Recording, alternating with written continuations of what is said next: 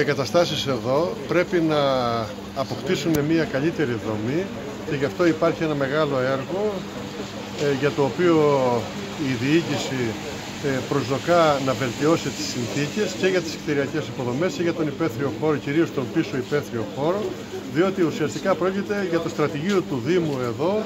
όπου όλος ο μηχανολογικός εξοπλισμός, το γραφείο κίνησης που λέμε κτλ, αλλά και όλοι οι εργαζόμενοι οι οποίοι εργάζονται πρέπει να δουλεύουν με καλύτερες συνθήκες. Επομένως θα είναι στο άμεσο μέλλον μια μεγάλη εργολαβία, η οποία έρχεται να προσθεθεί στις εργολαβίες που γίνονται στο ΣΜΑ για τις ασφαλτοστρώσεις και για τη βελτίωση των υπεθρίων χώρων πέραν της τέταρτης πρέσας, όπου αυτά τα δύο δίδυμα έργα, δηλαδή το αμαξοστάσιο μαζί με το ΣΜΑ, να είναι τα δύο επιχειρησιακά κέντρα για να μπορέσουμε να κάνουμε καλύτερη τη δουλειά και οι εργαζόμενοι να εργάζονται με καλύτερες συνθήκες. Αυτό είναι το πρώτο. Και το δεύτερο είναι ότι αυτά που είπε ο Δήμαρχος και ο κ. Ζαχαριάδης σε σχέση με το μηχανολογικό εξοπλισμό, λαμβάνεται πρόνοια και μέσω του ΕΣΠΑ να υπάρξει ανανέωση του μηχανολογικού εξοπλισμού με ηλεκτροκίνητα οχήματα για διάφορες υπηρεσίες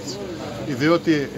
γνωρίζετε ότι ίσως είμαστε ο πρώτος Δήμος όπου έχουμε τέσσερα οχήματα μέσω της ΕΕΑ που είναι μικρά οχήματα ηλεκτροκίνητα. Ο σκοπός μας είναι να τα ανανεώσουμε, να βελτιώσουμε όλο το μηχανολογικό εξοπλισμό και όπως αντιλαμβάνεστε η ηλεκτροκίνηση για όλες τις δομές είναι απόλυτη προτεραιότητα. Είμαστε βέβαιοι ότι θα έχουμε μία άμεση χρηματοδότηση από το ΕΣΠΑ προς αυτή την κατεύθυνση. Μέσω του προγράμματος Ανοιχτά Κέντρα Εμπορίου θα έχουμε και ένα μικρό λεωφορείο για να μπορέσουμε να κάνουμε το πρόγραμμα το οποίο σχετίζεται με τις αγορές και με την διακίνηση των επισκεπτών προς τις αγορές. Επομένως η ηλεκτροκίνηση μπαίνει και στα λεωφορεία και θα υπάρξουν και άλλες παρεμβάσεις οι οποίες ουσιαστικά θέλουν να θεμελιώσουν την ηλεκτροκίνηση ως βασικό στοιχείο της μετακίνησης του Δήμου Θεσσαλονίκης.